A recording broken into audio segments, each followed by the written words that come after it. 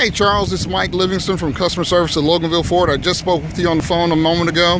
Here's your 2005 Signature Edition Lincoln Town Car. And when I tell you that this car is clean, man, that is a definite understatement right there.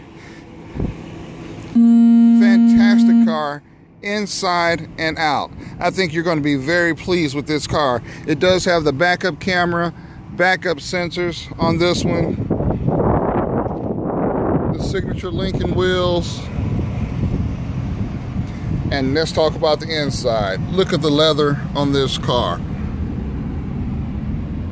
Looks like the back seats were barely sat in, if at all. Just a beautiful car. And here's the front seat.